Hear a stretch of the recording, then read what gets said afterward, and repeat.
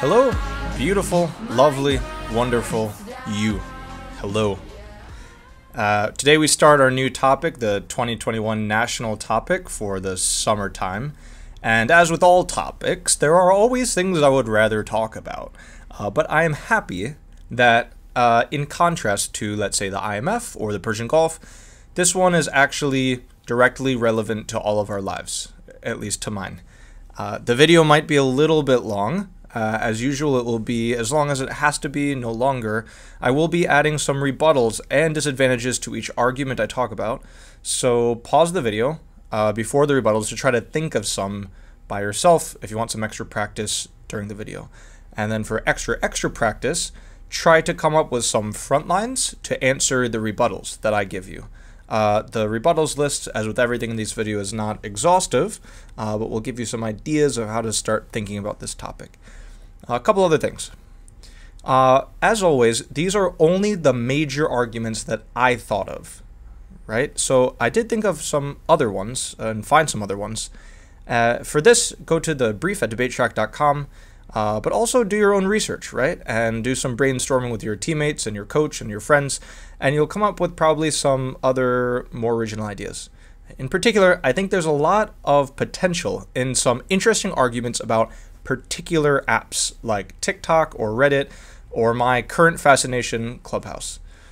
Second, none of these thoughts or evidence are full contentions. All of this is only a starting point. Uh, so take your time to assemble logical arguments and find the right evidence to make them work. Uh, the brief that I provide in this video is only, like I say, a starting point. Uh, lastly, like and subscribe. Uh, your uh, favorite social media app, comment it below what do you like the most. And if it's Instagram or TikTok, comment your username and I will follow you. I feel like this is most appropriate for the uh, social media topic. All right, let us uh, begin the lecture, shall we? So here's the topic itself. In the United States, social media is beneficial for democratic values. Uh, so first, we're going to look at some definitions, talk a little bit about topicality and uniqueness, and then go on to the actual arguments. And for today, the rebuttals as well. So I think for this topic, topicality and uniqueness will play a very large role and that's sort of by nature of the resolution itself, uh, and let's say of, of the topic, as we'll look at uh, soon. So I put the word tricks here as kind of a joke. I don't actually think it's inappropriate to talk about topicality or uniqueness, and I think you have to be very prepared for both of them, because even if you're not trying to debate at that level, obviously that's not the most fun or engaging or useful place to debate. I think other people will because I think it will be a good strategy to win. Uh, to attack people on topicality and uniqueness. So you should have a firm grasp of these um, as they relate to your contentions and your case before uh, going into a tournament. So social media definitions, I think we all have pretty good intuition of what social media is, but it helps to define it. Uh, obviously, it's electronic communication. That I could have admitted. Uh, some important aspects of it, though. Uh, social media forms networks uh, networks are formed of individual nodes or people on the networks, and it also forms uh, communities, right? So communities around some topic area, some interest, something about geography or habits. And so these two things, networks and communities, are important. Uh, so you can imagine a blog, right? A, a sort of one-way communication. There could be uh, or, or a podcast, there could be communities that form around those experiences, like uh, fans of the Joe Rogan experience, for example. Uh, but it doesn't really form a network, right? Because uh, the nodes are not connected to each other, right? Uh, and likewise, there could be, um, for example, chatting apps like like Telegram or Facebook Messenger. They form networks of people, but they don't really form communities um, around certain things. Although they they could, they're mostly emphasizing uh, one-on-one communication and, and small groups. Uh, second, the information that, that you share on social media, obviously it has to share some kind of social information, uh, but it can be in any kind of a medium. So uh, usually text, image, or video, although there's no reason to limit it to those things. So this is social media. The What's a little bit more difficult to define is democratic values, the second piece of this resolution. And so I've included in the brief a couple cards that give some kind of definition, but I have to admit, none of them are great. And in fact, I, I couldn't find anything in my brief search that was uh, a really authoritative definition of democratic values. So this is the battlefield on which um, the topicality debate will be fought. What is and what is not a democratic value? So I've listed these things, these suggestions, uh, uh, an incomplete list, uh, in order, I believe, from the most and to the least topical. So if you want to start by talking about democratic values, the most obvious thing is is democracy, right? Democracy must be the ultimate form of a democratic value. And what is democracy? Well, it's essentially voting, right? So if you have an argument that links to voting, I think this would be the way to gain, let's say, complete topicality. Um, if it if it helps more people to vote, or if it makes the quality of voting uh, higher, or or reduces the quality of voting, this will be directly topical. Uh, but almost equally uh, important is civic participation. So this is a big part of democracy, not just voting in uh, elections, but participating in society in such a way that you you aim to improve your society. Especially, you can think on a local level if you join a, a school board or a community organization. Uh, if you do any kind of volunteering in your community, this is all civic participation. You're you're trying to make your community better in some way. Um, uh, rule of law is uh, another one. Uh, there's a lot of things that could link into rule of law, and you can imagine that in, uh, let's say, more authoritarian countries, uh, China, Russia, the rule of law wouldn't apply to everyone equally. So you can imagine people in power or um, you know leaders, especially, the rule of law would apply less. Um, in America, there's certainly differential application of the law. That is certainly the case. But you can say that we we strive for a society, or we would value a society where law, rather than like power or money, uh, was what uh, actually ruled society. Next, truth and information. Once again, a lot of ties between truth and information to social media, uh, both for good and for bad. But um, we we're getting a little bit farther from topicality now. So, can you really say truth and information is a democratic value? Well, you can make the case. So, how can you make the case? Well, it's very difficult to think about voting, uh, especially in an appropriate or uh, a useful way if you don't have adequate information. Excuse me, I'm taking off my coat. Okay, so imagine you want to vote for a teacher, right? I'm, I'm going to give you a new teacher and I'm going to have you vote for one. And, and here's your three choices, right? You can choose uh, either A, or you can choose B, or you can choose C. And that's all the information you have, right? So I've given you a situation where, yes, you can vote, technically, but you don't have information about the people, right? Uh, so you wouldn't really consider this to be voting, actually, right? You, you, it's kind of a random thing, and, and, and so you, you need uh, information, good information, in order to vote well, and that applies. Of course, we typically think about the presidential voting, but really for all voting, right? For all voting at any level, this applies. Civic participation, the same thing. You need uh, actually information and ideally true information.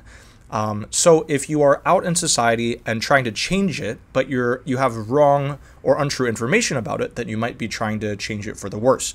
So if you're trying to prevent um, people from wearing masks because you believe that there are chips in it and they're taking away from our freedom or rights, that could be actually a kind of civic participation, but a very negative uh, version of it if your uh, information is based on falsehoods. Uh, likewise, in voting, so instead of saying that there's teachers A, B, and C to choose from, let's say I instead say teacher A is a known arson and teacher B uh, loves to throw books at her students, and uh, uh, teacher C refuses to wear shoes anywhere he goes. Um, okay, and let's say that they're wonderful teachers and none of these things are actually true, right? So now I've provided you with lies, with untrue information, right? And that, that could make your job even harder, maybe even worse than random if you get bad information. The same thing applies to voting and to civic participation. Uh, life, liberty, and the pr- pursuit of happiness. This is like a very, very famous um, phrase that we we think about when we really think about like the essential rights of being American. Um, I'd like to focus essentially, especially on liberty. So, like, kind of the ideal libertarian view is that you should be able to do whatever you want. You should have maximum freedom as long as that freedom doesn't tread on the freedoms of other people, right? Um, uh, I, I don't think that the majority of Americans are libertarian, but this is uh, sort of an extreme um, an extreme idea about libertarianism that you could, could embrace uh, just in terms of like we should maximize freedom and freedom is a, a democratic value in the U.S. Uh, lastly, the Bill of Rights. So the first uh, 10 amendments to the Constitution constitute the Bill of Rights, added shortly after the Constitution was written. These include things like the right to free speech, the freedom of uh, assembly, freedom of religion, state rights, things like that. And uh, I think most people would get behind the idea that if you are promoting freedom of religion, freedom of speech, freedom of uh, assembly, uh, as social media does, uh, just gives you kind of more outlets to practice that. Or if you're limiting it, right, by through censorship or something like this, uh, that this would be related to democratic values. But it's not very clear that it relates to democratic values. Uh, certainly not just because it's in the Constitution, because that's not what the resolution says. It says democratic values, it doesn't say constitutional values um, or anything like that. For example, in the Bill of Rights, we also have the Second Amendment, which is about um, guns, right? The right to bear arms. So, uh, is this something that you're going to defend if you're also defending the right to free speech? Um, this is something to think about. So, social media defined, democratic values defined. Let's talk briefly about topicality. We've already talked about, let's say, some non topical examples of social media, things like Telegram, WeChat Messenger, that are really um, primarily chat apps, right? So there's a, a large number of um, online electronic media that don't count as social media. Uh, also, democratic values. So, tons of things that are good about social media. You know, they're very entertaining. It helps with companies, helps with branding and commerce. Uh, tons of bad things about social media. Uh, can cause addiction, mental health issues. Um, but these things are not related to democratic values. So uh, keep this in mind. Lots of pros and cons about social media that are not about democratic values. And this is something you're going to want to call your opponents out on uh, anytime you see it. Uh, last, uniqueness. And so this is another uh, major battleground alongside topicality. Once we've established things like voting, civic participation are almost certainly within the realms of the resolution, uh, then we have to start thinking about uniqueness. So there was already social change, civic participation, fake news, propaganda, polarization, all of these major arguments for this topic, they existed before social media. So you have to ask for your own arguments and for your opponent's arguments, is this the result of social media? Or is this just a result of society, something that happens naturally, a part of being in a society, part of being American even?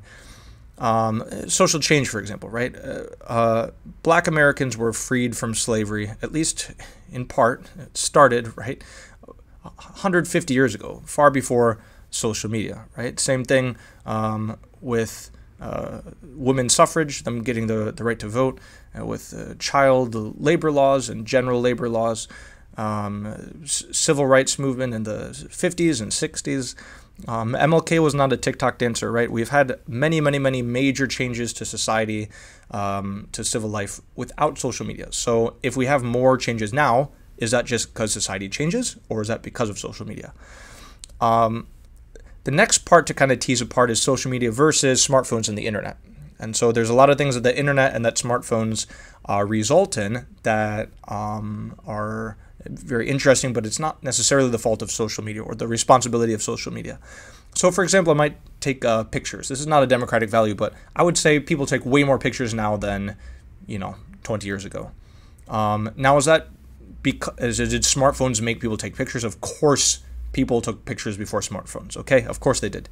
Uh, but people undeniably take many more pictures now. Um, is that because of social media? Well, you could argue no. It's smartphones where people have cameras in their pocket, right? Uh, if you have camera in your pocket, you're going to take a lot more pictures. Um, but probably uh, most of those pictures or a lot of those pictures are for social media, right? So social media kind of drives um, a lot of behavior and uh, especially amplifies it.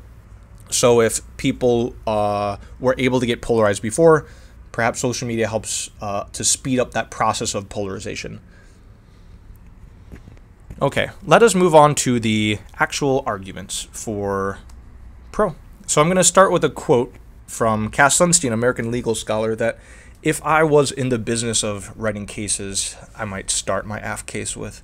On balance, the question of whether social media platforms are good for democracy is easy. On balance, they are not merely good, they are terrific. Cass Sunstein.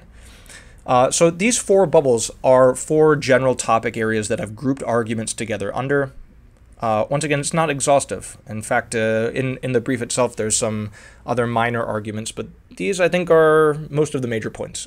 Uh, reasons why social media benefits democracy, democratic values in America. The first is activism. So, activism includes civic engagement, which we talked about before. Uh, our evidence points to the fact that especially black and Hispanic Americans, uh, based on polling data, rely on social media for civic engagement. Um, civic engagement also in, uh, results in social change that's unique to social media um, this these hashtags BLM, Me Too, MAGA, they were all uh, started online and all sort of pointed to real life things that um, groups of people wanted wanted and still want to change. Um, and specifically, uh, social media can help to uh, organize groups of people around common interests, uh, uh around common uh, interest to change things in society, and also can help to organize protests, which is a pretty big uh, mover of of of civic change. Um, so activism, I think this is probably one of the most solid arguments for the pro side. Let's think about um, rebuttals. Go ahead and pause the video. Otherwise, let's take a look. Uh, not complete, but uh, here's my thoughts. So non-unique, we'll start with this. We're going to non-unique almost all of these arguments um, because because nothing is social media does very very things that are 100% unique. Um, and so my point here um, about the uniqueness of social activism is what I've already said. We've gone through many many many changes in society without the use of social media. Um, second, or first on this list, no impact. So hashtag activism is not the same as uh, actually changing things in society. In fact, you could turn this argument, although I don't have evidence to support this, I suspect it might be true, that because uh, it's too easy to express your view online, it, you could actually sort of get your itch out, right? Without actually changing something in society. Let's say that you're angry about some kind of injustice. Perhaps before social media, you would have to go and talk to people. You might go to a, a, a board meeting somewhere, a, a community meeting. Uh, you, you could make a sign a petition, maybe try to make something actually change, right? Uh, whereas online, you might just fire off a tweet and then that's it, right? That's that's how much you've changed, right? Change your profile picture, on Instagram or something, and that's your activism, right? How much does it actually impact the real world? Uh, we can call this into question. Um, then a threshold DA. So I, I haven't written up this DA, and I don't have any evidence about it, but I, I think it um, I think it's a very solid DA you can apply to um, this the most strong sort of general argument on the pro side. And if you're seriously competing in PF, I would recommend preparing some kind of a disadvantage like this um, which is just because it is too easy to uh, express your rage or opinion over any kind of an issue. There are uh, small matters that are blown uh, wholly out of proportion, right? Especially with the network effects of social media, the polarizing effects of social media. This will link into um, foreign influence and to the psychological effects of social media that that people get really, really angry about uh, uh, on social media, and there are small things that can be blown up. Um, so the go-to example of this would be the Me Too movement, right? Which was a, a movement that is still um, underway, but for, from some years ago, that was um, uh, women protesting like disgusting, especially like sexual abuse or or harassment from men, right? And um, many men were rightly uh, called out. Um, you know, some really egregious examples of, of horrible things that men have done and gotten away with, right, for too long. Um, and also just the general thing of like you know men should stop being gross to women. Okay. And and so mo- most of this was very very good. Uh, but there were um, some borderline examples where people suffered the same consequences as people who had done truly horrific things right? They i mean they suffered public shame public humiliation um, being fired from jobs being fired from i mean en- ending careers right? Um, for relatively minor offenses. I mean, what what might amount to uh, misunderstandings potentially, or um, you know a bad date right? Something probably they they regret something that's probably bad but um, there's certainly like um, levels right to um, to inappropriate behavior. And the and social media puts the threshold to extreme action at next to nothing right? Like if someone makes a minor mistake they can uh, lose their job and their reputation right? And this is this is sort of the power of social media right? This is something that we're going to see throughout um, throughout this topic that social media is just extremely powerful right and for good and for bad right and sometimes uh, that difference can be a little bit blurry all right, so that's on activism. Like I said, probably the most strong argument from the pro side overall. Uh, next is information. And so in, uh, uh, social media is a big news source for a lot of people. Um, people who use social media will see a lot more news than other people, right? Uh, but it also helps just to share to share yeah information, but also to share grievances.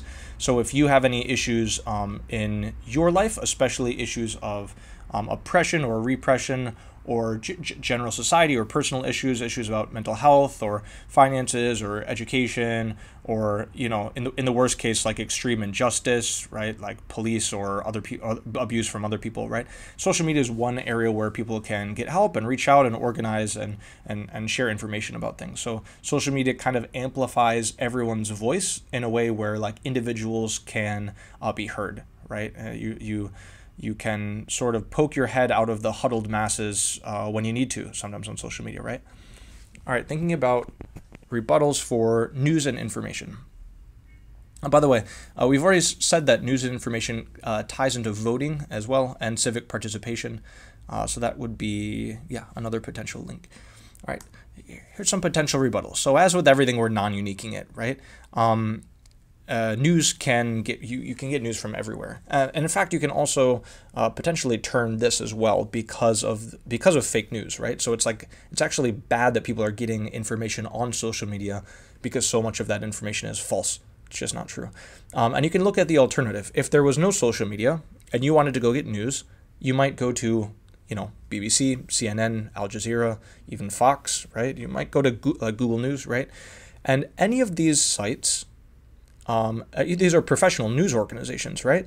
And so they have expert journalists, uh, they have professional staff, they have people who you know have gone to school for this job, versus you know, I mean, a, a, a Russian troll or I mean, and any of you, any of you, if you spent it, if you close this video and spent an hour working on it, could make a website that looks like a news website, make up some fake credentials, and start making fake news articles. Like that's very easy and accessible for everyone to do, right? And uh, that's what a lot of you know social media news is. So yeah, it's actually a bad thing. That would be the general rebuttal. Okay, uh, voter turnout. Uh, once again, this is a really good argument because it's it's just 100% topical, right? If you can show that uh, the quality or quantity of vote voting is increased by social media, then that's uh, that's a real solid contention. the it, The magnitude might not be gigantic, but it's um, it's hard to beat back that argument. It's pretty. It's just simple and elegant and topical. Um, so there was a Facebook study quoted in the evidence, I believe from 2012, where Facebook shows a banner across the top of the screen to all of the Facebook users in, in America. And uh, they there was a study done, I believe, in Science that showed that the, the banner had an effect, right, to the tune of several hundred thousand votes, which is, you know, a couple percent, right, um, of the voting populace, which is huge, right? If you can boost voting by 2%, 3% through like a very simple intervention, that's incredible. That is that is huge power. Um, and this study was just from Facebook. I, I think there uh, Twitter may also be mentioned. I'm not sure how it relates. Um, but even even the social networks um, uh, direct actions like these banners aside, you can imagine on voting day you log into any platform, you know, TikTok, LinkedIn, anything, you're going to see people making posts about voting, right? And so that could remind you to vote or could encourage you to vote. Um, I think very few of you watching are able to vote, but you get the idea. All right, rebuttals. How can we rebut this? Boop, boop, boop. All right, so we're going to look at one of the big arguments um, later on in the con section, which is foreign interference. Uh, most of you, being debaters, know that Russia has uh, interfered in U.S. elections through social media. Uh, fascinating, fascinating operations, and um, you could say it outweighs. So uh, yes, social media may make a few more Americans vote, but the quality of their voting is going to be severely degraded by uh, fake news. Here we go, the fake news DA, right? Like the quality of voting goes down. Uh, plus foreign interference, right? Which is like the worst, right? It's like literally our enemies are choosing our leaders instead of us choosing our leaders. It's our enemies. Um, and then there's also uh, voting skepticism, which came out uh, in a big way in the last election, right?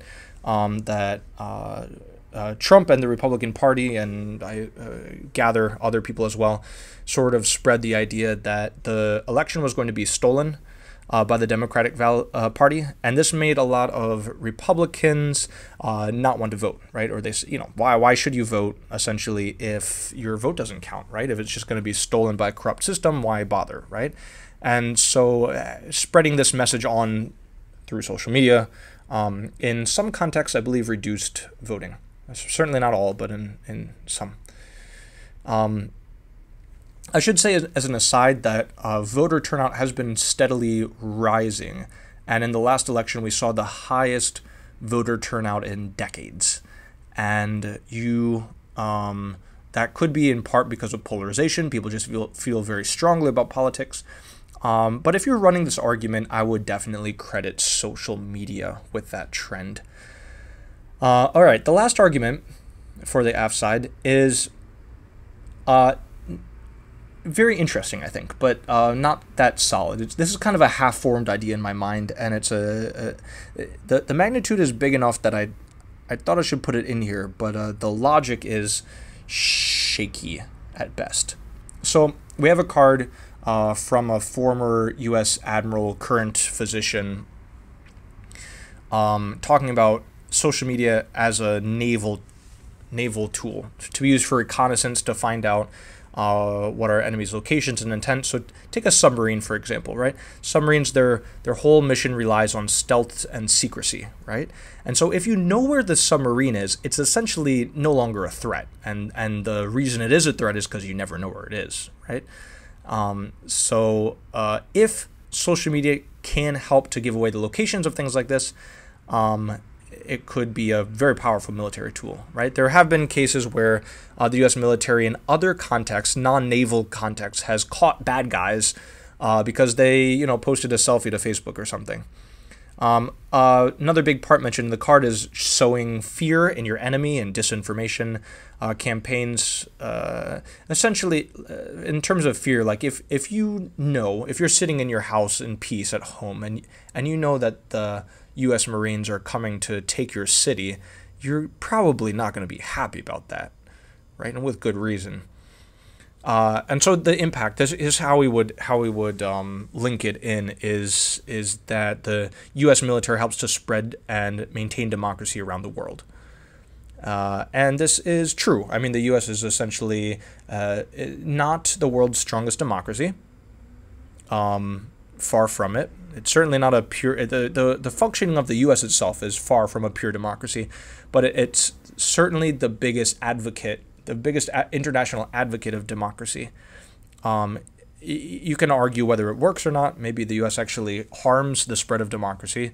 Uh, that could be the case, but the U.S. does work to spread democracy. So I think there's something to this argument, and there's uh, something to this. It would be a very large magnitude um, if you could if you could pull it off. Uh, some potential rebuttals is there's no impact versus like so yeah you could say like yes the U.S. military is very strong yeah fine it's very strong, uh, but it's strong because of other things like you you cannot seriously imagine that Instagram is helping you win wars like uh, you know high levels of training incredible systems military tech these are the things that are winning wars uh, not Instagram you know. Um, you can also say that um, intervention is bad. We shouldn't be intervening for many, many, many reasons. Doesn't matter if it spreads democracy. Doesn't matter if it helps democracy at home. Doesn't matter if it pushes back the uh, encroaching threat of in, uh, authoritarianism. Like we should not be intervening in other countries militarily. Uh, yeah. So uh, some rebuttals against this, but once again, the argument itself is not that solid as presented. So just a thought. Let's go to cons, shall we? So I start once again with the first quote of my hypothetical case that I'll never write on this topic. Social networks such as Twitter, Facebook, and Google hold the potential to alter civil engagement, thus essentially hijacking democracy by influencing individuals toward a particular way of thinking.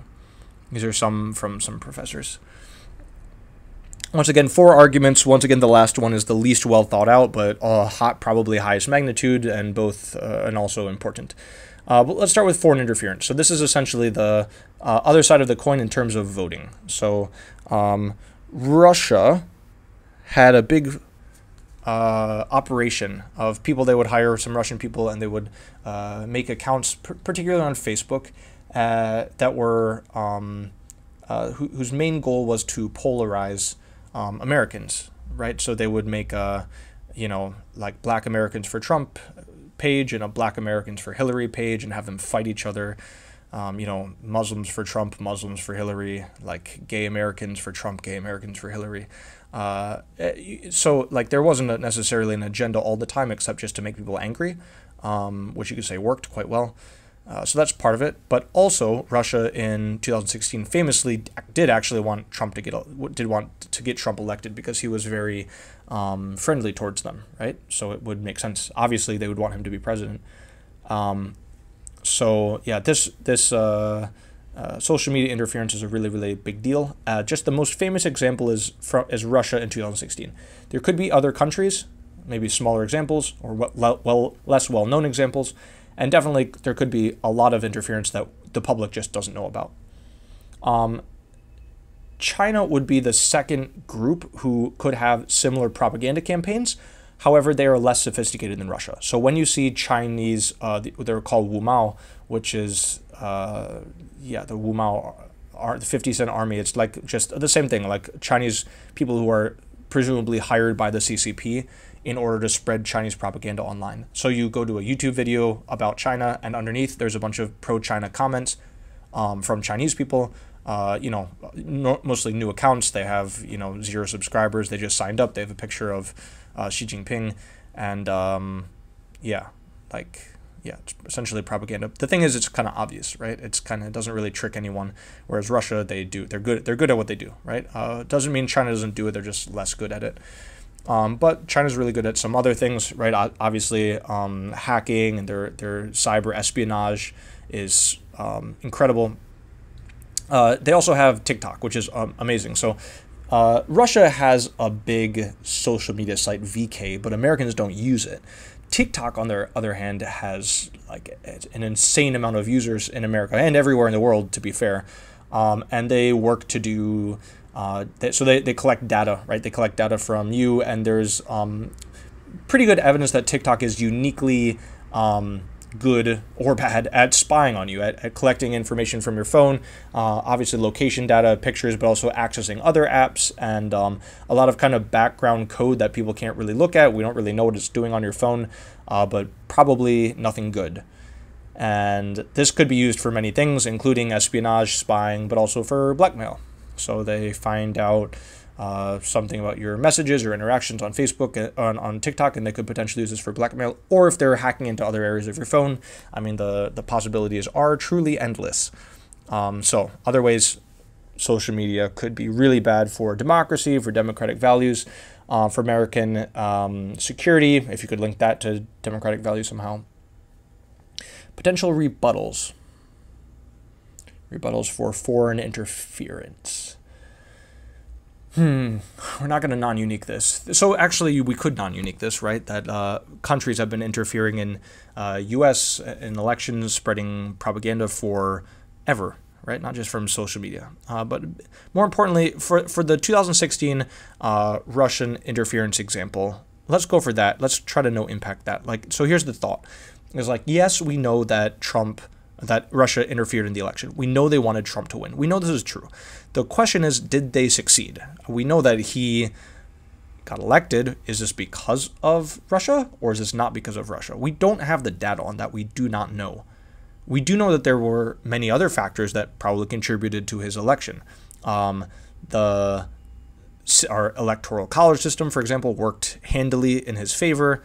Um, Hillary was widely hated by many people. Trump was extremely charismatic and tapped into a large uh, population of like former non-voters. Uh, so, was it Russia that got him elected? This we we we cannot know this answer. Um, and more importantly, there's no interference happening anymore. So this was a famous thing that happened on Facebook in 2016. Uh, Facebook stopped it afterwards, and the the U.S. government and social media sites were very intent on making sure it didn't happen again. And so they took down um, many, many, many uh, Russian accounts. They made political ads transparent. They changed their terms and policy, made it harder to sign up, especially with fake accounts.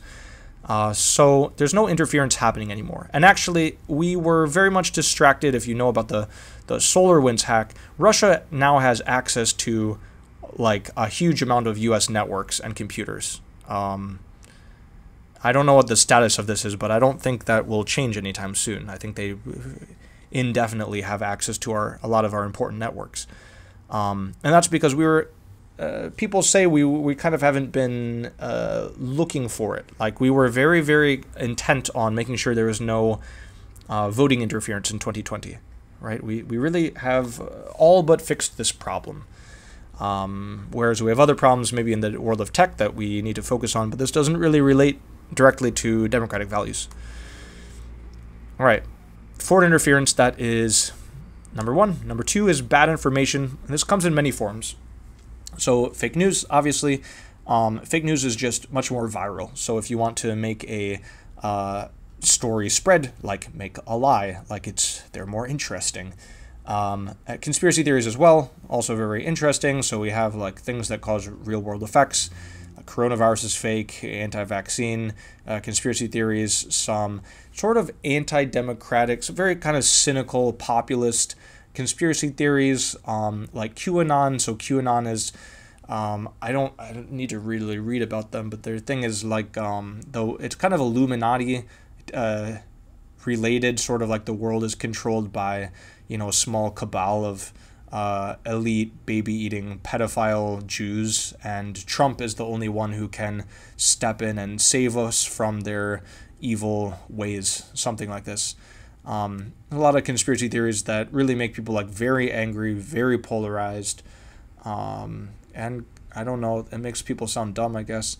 Uh, now, there's other conspiracy theories, of course, like um, you know, flat Earth, you know, or we didn't land on the moon or something, where you know, I it, maybe it's not true, but I don't know. I don't know if you believe the Earth is flat. I don't know if your life is really any different except I mean you sound dumb obviously, but I don't think it changes. Whereas if it, if you're anti-vaccine, like your life is going to be different, right? You're going to like potentially die. So, um, propaganda, of course, this is once again coming from other countries, so this is like intentionally spreading uh, lies or falsehoods. Uh, in order to change the American uh, sentiment, the, the, the thoughts of American people. So, a lot of different kinds of fake or false information on social media. Some potential rebuttals. Number one is an indicator of fake speech. Of I'm sorry, of free speech. So free speech means people can say what they want. It doesn't mean people can only say the truth. It doesn't mean people can only say what you want them to say, uh, or you, they can only say things that fit the established narrative. No, free speech means you can say what you want. That's what it means. And where is the line crossed? Where does free speech become, let's say, illegal? It's where uh, you're going to cause some kind of harm or violence, right? So if you make a threat, that's not legal. Um, if you encourage or incite violence, that's not legal. Um, but if you just say something that people disagree with, that's not illegal. So, yeah.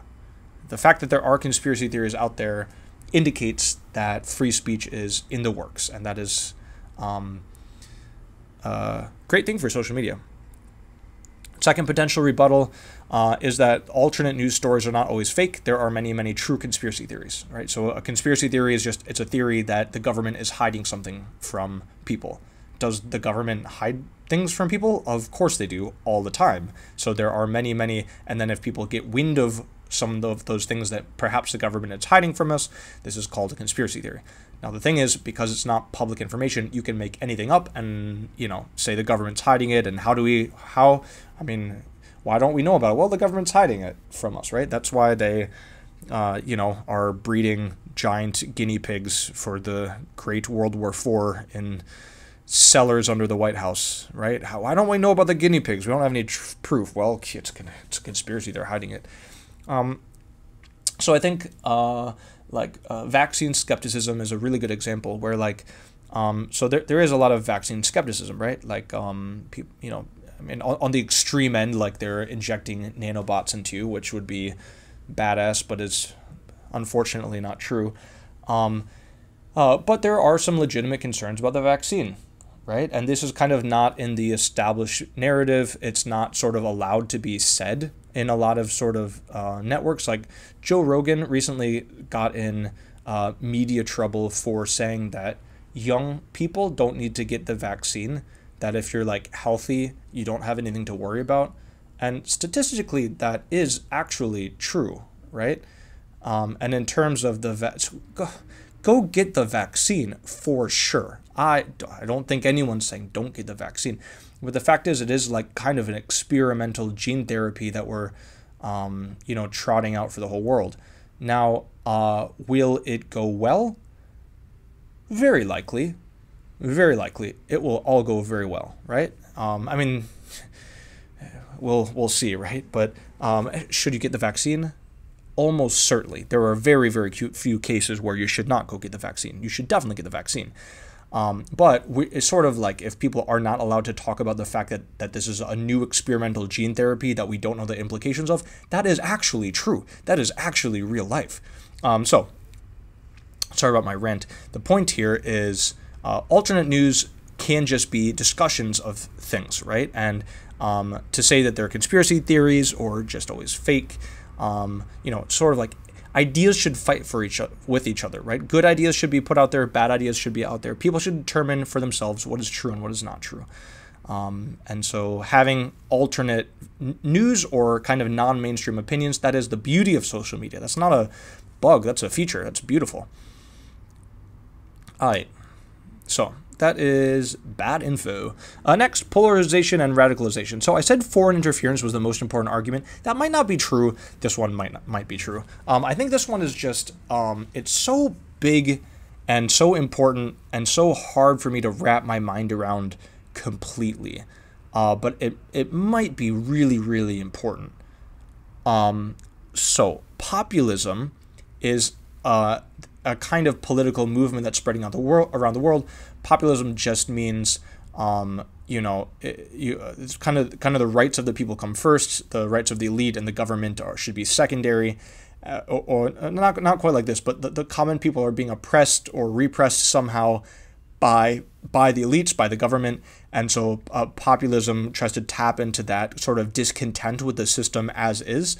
Um, and we see this uh, growth of populism, especially on the extremes of the political spectrum. So we have growth both in the far right and the far left. So, like extreme far right things would be, um, yeah, a lot of these conspiracy theories, uh, white nationalists, people who are racist, and or people who have like extreme um, traditional or conservative values, people who want America to uh, quote unquote return to some kind of quote unquote traditional values um, but also the far left. So, like, really extreme uh, woke culture who's trying to, um, you know, tear down all of the institutions, who believes um, in some way that, like, all of our systems are corrupted, that society needs to be burned to the ground and rebuilt in kind of their image.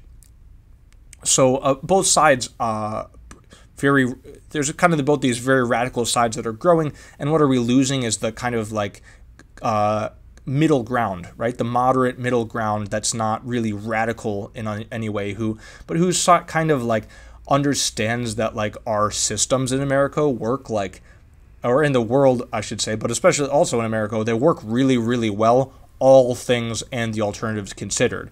But at the same time, they've got a lot of problems, and we need to work on reforming them very hard. Like that would be kind of the moderate view, right? Um, uh, and perhaps we're losing that, right? And so this can re- result in rad- radicalization. What's the difference between being like having like socialist ideas of being radical, between having traditional ideas and being radical? I would say one of the lines is where you start to have like real life violence. So if you're like, go- and and we see this on the far right uh, more, I would think. uh, but to, to, to a smaller degree on the far left, right? Uh, so on the far right, like white supremacists, um, uh, there's a, I think a large number of like kind of white supremacists, like mass shooters. Um, these would be like radical far right, and then far left. You know, there's pe- been people who like try to go hunt down like Trump supporters and shoot them. This would be kind of radical people. There's also just like non-politically motivated crazy people. Keep in mind, but um, so yeah, so so we, we're having this radicalization. That's kind of the consequence of being in echo chambers on the on social media. So I didn't put this word in echo chambers or bubbles, but it's actually a really important idea, uh, right? That when you go on social media, it shows you what you want to see, right? And it, uh, especially YouTube has been, has been famous for. Um, show, so for suggesting videos to you that are more extreme than the things that you just watched, right? So in other words, if you watch, uh, um, uh, you know, it knows you're a, a, mother and are interested in children's health, it'll show you some like anti-vaccine, um, some anti-vaccine things because this relates to children's health in some way. People have some questions about it. Mothers are worried, and then you know you keep watching, and uh, you know two months and thousands of hours of YouTube later, you're, you know, once again believe that the world is run by baby eating Jews and Trump can save you from it. Uh, so social media helps to radicalize people. Social media helps to polarize people. Um, yeah. All right, and that has a lot of implications that. Um, uh, once again, I wish I, I had a more authoritative way to tell you about them, but um, I know my limits, and I, I would say I, I, I can't quite wrap my head around um, this issue of radicalization and polarization and what the implications are. But I think the implications are uh, big, very big, perhaps very, very big. Uh, all right, what are some potential rebuttals to these arguments? Boop-a-doop. All right, non unique it as always. So, fake news and conspiracy theories have been around forever. Yeah, just look up fake news or conspiracy theories from 100 years ago. Apparently, I, I can't confirm this, but I've heard that during the Spanish flu epidemic at the turn of the century, um, you know, 100 years ago, there was also like anti-mask, anti-maskers and like anti-vaccine people. So I've heard. Um, also, polarization. So if they if if a team claims that polarization is an all-time high, it is very high right now. That is true. Polarization is very high, and it's the highest it's been. Um, I, I I don't know the number. I know the Gilded Age, which is the example I thought of, was more than hundred years ago. So I don't want to say polarization is at a hundred-year all-time high, but it it is high. It is high. Gilded Age, the period between the Civil War and the turn of the century, a lot of social change and a lot of resistance to social change at the same time. Clearly, the Civil War, obviously, people were pretty polarized. Still to this day, America's most bloody war. Uh, far more deaths than World War II in terms of American lives lost. Uh, so polarization is not an all-time high. If someone makes that claim, like no, if they say the highest in 50 years, highest in 100 years, I don't know. They might be right. Um, power. So here's the, yeah the last argument that I, I I can't say is a very solid argument. I don't have it thought out very well, but I think it's important. Um, tech, uh, social media giants are hugely powerful, and their leaders are extremely powerful. And that's a problem because they're not elected and they're not subject to laws that typically govern extremely powerful uh, systems of power in the U.S., i.e., government. Right? Government is subject to one rule, one set of rules. Companies are subject to other sets of rules. Right? Uh, but to have so much power in the hands of so few people, and just a couple platforms that have such extreme power, uh, there's something dangerous about that. Right? Especially when they're not elected. Um, so Facebook is more powerful than the government. Uh, one example is with Australia. Um, Australia, I don't know the year, was thinking of proposing a law so that Facebook would have to pay news publishers because Facebook makes a lot of money from people using Facebook and they publish a lot of news on it. So the Australian government was thinking, hey, you know, you need to reimburse these people for all the money you're making off of their content that's free to you. And Facebook was like, okay, uh, no. Um, news is now banned in Australia on Facebook. They just shut it down um, millions of Australian Facebook users who use Facebook for news, amongst other things, were understandably very angry. And they were angry enough that Australia decided not to change the law. So, Facebook versus Australia, Facebook wins. And uh, having a, a, organization that's this powerful is just concentrates too much power, too few hands. um, potential rebuttals for the extreme power of social media organizations. Um, so, many big companies accrue a lot of power through providing value to Americans. So, uh, Amazon is extremely powerful because they provide a lot of value. Walmart has been extremely powerful because they provide a lot of value. Um, the- you know, the Walton family or in- industrial giants, right? So the Carnegies, right, or the Rockefellers. They provided incredible value. They built America. They gained success, and that's how they gain power, right? In our system in America, essentially, you gain power through you know, roughly a meritocracy, right? So if you provide a ton of value, the the market rewards you with success. Obviously, it's not just that simple. Obviously, there's some caveats to that, but in essence, don't complain about people who have gained great power through changing the world for the better. We should be celebrating celebrating their success uh, because it means that our world is a better place now, right? They have earned and gained that power legitimately. Uh, but that's a little bit beside the point because actually, uh, go- the government is much more powerful than social media. So, uh, if the government wants to execute someone, they can. If they want to invade a country, they can. If they want to pass a new law, they can.